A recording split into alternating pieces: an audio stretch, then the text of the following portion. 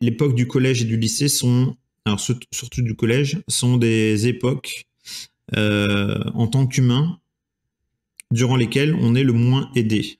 Alors moi, c'était mon, mon, ressenti personnel, mais quand je prends un adolescent entre 10 et 15 ans, euh, bah, il va avoir des problèmes de, euh, de changement du corps, de changement d'humeur, et puis aussi des problèmes scolaires. Donc, euh, savoir quel est le sens de ce que je fais, et surtout la fameuse question qu'est-ce que je veux faire plus tard? Et à, cette question-là, en fait, il y a euh, quelques solutions. Il y a les conseillers d'orientation dans les dans les établissements. Donc, il faut bien savoir que la norme c'est un conseiller d'orientation pour 1500 ou 2000 élèves sachant que c'est basé sur le volontariat et que c'est rarement individuel. Euh, enfin, en gros, c'est les élèves qui doivent se déplacer s'ils ont des questions. Oui.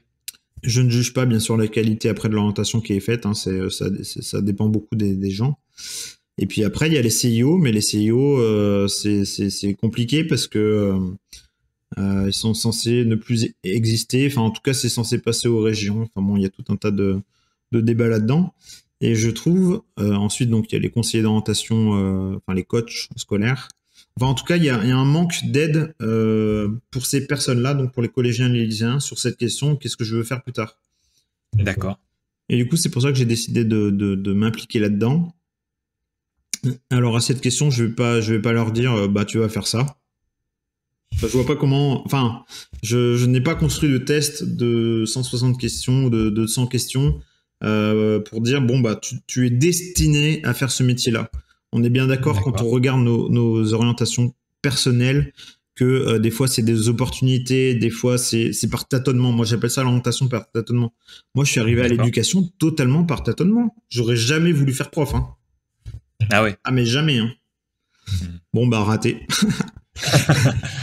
Mais en fait, c'est quand tu te découvres et quand tu découvres l'envie que tu as d'aller dans telle ou telle voie que, que tu y vas. Et du coup, si je peux réduire, euh, si je peux faire gagner 10 ans à une personne en lui faisant découvrir justement des, domaines, eh ben, je le ferai. Et du coup, c'est ce que je me décide à faire avec un outil. Alors, c'est plus une méthode que j'ai euh, créée euh, qui se base simplement. C'est vraiment très simple. Hein. Je prends la personne et en cinq étapes, en fait, ça me permet de lui faire rencontrer des, personnes euh, du monde professionnel en qui j'ai confiance dans les futurs métiers qu'il souhaite faire. Et du coup, ça lui permet de faire une exploration. Et du coup, moi, je ne fais pas de l'orientation scolaire, je fais de l'exploration. Voilà, je vais pas te dire tu, tu vas faire pompier. Je vais te dire si tu veux faire pompier, bah, je vais t'en faire rencontrer deux, trois. Euh, une femme, peut-être, euh, quelqu'un. Il y a, tout un, tout un, il y a plein de façons de faire un métier. On est d'accord? Euh, va y avoir des pompiers qui, voilà, qui sont très extrémistes, tu vois, ils sont, euh, ils sont volontaires, euh, ils trouvent que la, la mission est euh, une des plus belles qu'on puisse faire, et je suis totalement d'accord.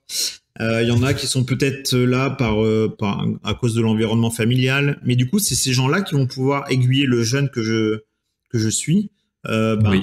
à la fois sur les formations, à la fois sur, sur le sens. Voilà, donc voilà, je crée simplement ces petits liens-là. D'accord. D'accord. J'aime beaucoup ton, en termes d'exploration plutôt que d'orientation.